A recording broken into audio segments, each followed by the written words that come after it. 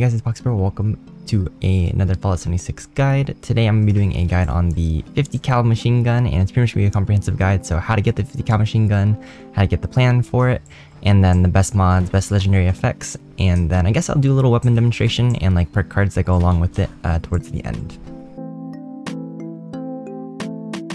First thing I want to note is that I did already make a guide on how to get a free 3-star legendary 50 cal machine gun, which is the one that I'm holding right now. And this one is Beckett's Final Word, um, or just Final Word, but it's pretty much for the NPC uh, companion Beckett's questline, and this is pretty much what you get when you complete it.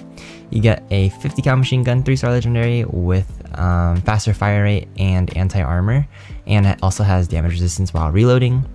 Um, I primed it myself and added some attachments, but that's pretty much the base three legendary effects that you get, which is a really good roll for like a guaranteed roll. Like no matter what, when you complete Beckett's questline, you will get this this like three star uh, stat roll, and it's super super solid for um, to start out with a 50 cal like this and just for non-bloodied and non-junkies build this is going to be like one of the best 50 cals that you can get. It can be a little bit more optimized by taking out the re damage resistance while reloading and pushing it a little bit further but for faster fire anti-armor that's already really good so i'd highly recommend checking out that video i'll go ahead and link it in the description and in a pinned comment down below that way you can check it out if you're interested but yeah so that's one way to get a guaranteed 50 cal. But yeah, let me go ahead and go into the other methods. According to the wiki page, these are all the other locations that you can get yourself a variant of the weapon. So there is quite a bit of them and you can kind of go to whichever one is most convenient to you.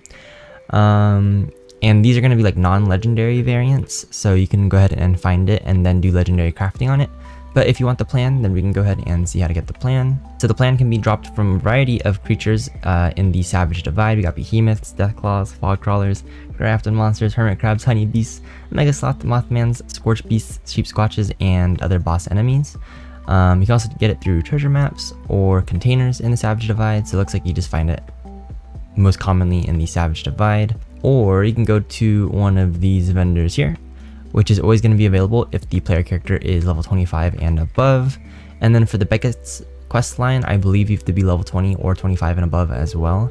So this weapon is kind of like a little bit of a mid to late game weapon um, in terms of when you can actually obtain it. These are the vendors that you can go to if you're interested in picking it up with caps. And then of course you can use um, all the cap or all the uh, charisma boosting perks and buffs and whatnot to lower the price if you want to buy the plan. Um, the easiest ones to access are probably going to be at the White Spring Resort, and then you can just go to these vendors, and this is what the vendor bot Brotherhood looks like. And this is what the Raider vendor looks like. Alright, next up I'm to go ahead and talk about the mods, and uh, with, you know, most mods in guns, you can find them throughout the world, um, like the mod already made, or you can go ahead and learn the plan for the mod if you scrap down um, 50 cals. So if you want, uh, this was a comment left on one of my videos previously for a weapon guide if you use Super Duper, which is this perk card right here. Somebody also asked about what the perk card was that I mentioned. Um, super duper, so if you craft anything, there's a 30% chance you'll get double the results, which applies when crafting weapons. So if you craft a bunch of 50 cals once you learn the plan, then you can use super duper to proc and get like 250 cals for one craft and then scrap down both of them.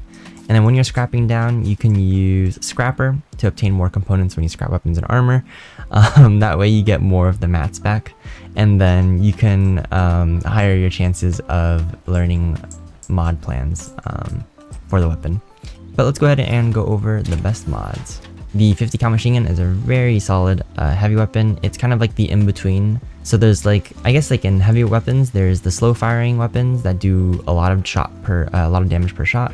And then there's the heavy, like fast firing, uh, low damage per shot. And this is like the in-between of those where it's like kind of like a, a pretty decent attack speed or a fire rate um, and still hits like pretty decently hard per um, shot. And there's no um, wind up time, like how a lot of the miniguns have like a spin up time. So I think that's why the 50 cal is like a really good solid heavy weapon choice. Not that many mod options, but the best receiver is going to be the prime receiver. Uh, you just get to squeeze out that extra damage. You are going to need Gunsmith 5, and you get the prime receiver plan by killing Scorch Beast or Scorch Beast Queen, and just hoping that the that the uh, the plan for the prime receiver for 50 cal drops.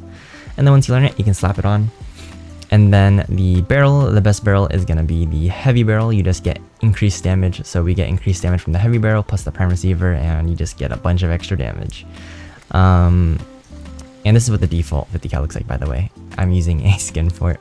So those are the best mods, pretty much the only two mods that you can unlock for this gun. Um, but let's go ahead and talk about the legendary effects. Oh, I realize I can't craft legendary effects on this one. I wonder if it's because it's a special one that they won't let me re-roll it. So this one, yeah, so this one allows me to roll the, the mod. So I guess you can't re-roll Beckett's final word, which is probably a good thing because that's a really good one already. Uh, but this is one of my other 50 cals, which is a two-shot extra limb damage 50 cal. Um, so let's go ahead and talk about the best legendary effects for the 50 cal. This is going to be a heavy weapon DPS weapon, so we're looking for anything that can boost our damage and fire rate. If you're bloodied, bloodied is going to be the best prefix. If you're junkies, junkies is going to be the best prefix. If you're neither of those, then I would recommend anti-armor. And then the another good keyword is going to be fire uh, faster fire rate. So if you can get faster fire rate with any of those prefixes, it'll be really good. And then we have some other close contenders, which would be like maybe two shot. Two shot could kind of work maybe, but I feel like the other three are going to be more solid overall, but it could maybe work for you. I, I guess I, I test it out, but you do lose a bit of accuracy using a two shot 50 cal. Uh, another effect that's nice is explosive or extra damage while aiming. Um, there's also reduced weight, which is really nice. Uh, you don't use VATS at all for heavy weapons most of the time, except maybe the plasma caster, so I wouldn't do any of VATS on a 50 cal. Quad ammo capacity on a 50 cal could you know, be pretty pretty nice as well. Faster reload isn't the worst either on it. I could see some people saying that vampires is like not too bad either, but I do think vampires is a little bit better on a faster firing weapon. Um, but it could still work. And I think those are pretty much all of the main ones to mention. I feel like it's going to be the same keywords for all these weapon guides just because right now they're heavy weapons and they have a lot in common. So, And honestly, generally the meta with legendary effects is pretty much the same across most weapons unless you're going to like a different weapon type. But for all the heavy weapons, those are pretty much the, the strong ones. Um, so I'm to go ahead and craft some ammo and then I'll do a little weapon demonstration. This right now is the perk card setup that I've got. It's a straight heavy weapons build, so I'm running uh, maxed out heavy gunner, maxed out master heavy gunner, and expert heavy gunner. Um, Bear Arms and blocker it does not affect the damage at all. We got glow sight, so if I'm shooting a glowing enemy, that's going to be additional damage. Uh, tenderizer gives me an extra 10%. We have Nerd Rage giving me extra 20%, and we have Stabilize giving me 45% armor pen on top of the 50% armor pen from anti-armor already. And then if I'm racking up multiple kills in a row, we got adrenaline buff. We got the 15% flat damage from bloody uh, from bloody mess. We got some stagger and cripple chance from one gun army. And then I think I do have some mutations that are giving me some extra damage as well. Um, so yeah, lots of damage stacked on this thing. We'll go ahead and see how it performs.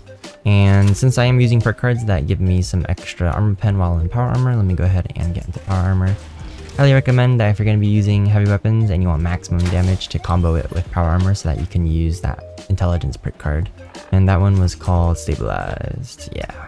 Alright, so I am a in a pretty bloodied state. This is just the anti-armor um, faster fire rate Beckett's 50 cal. Using full perk cards.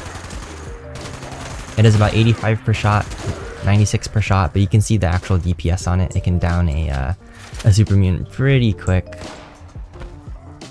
196 headshots, and there's no wind up time on, um, like, there's no like spin up time before it shoots, and just like that, it can clear out West Tek really fast. This is level 75 super mutant. Just like that. It's gone. 319 damage there. So yeah, this is a, really solid heavy weapon. And it's a lot of fun to use because I feel like it gives you, um, it's really satisfying just without having to wait for spin up time and still getting all this damage out. And it's got a big mag capacity as well. But yeah, that's pretty much it for this video, guys. I hope you enjoyed. If you have any questions, comments, or concerns, please let me know in the comment section below. But otherwise, until next time.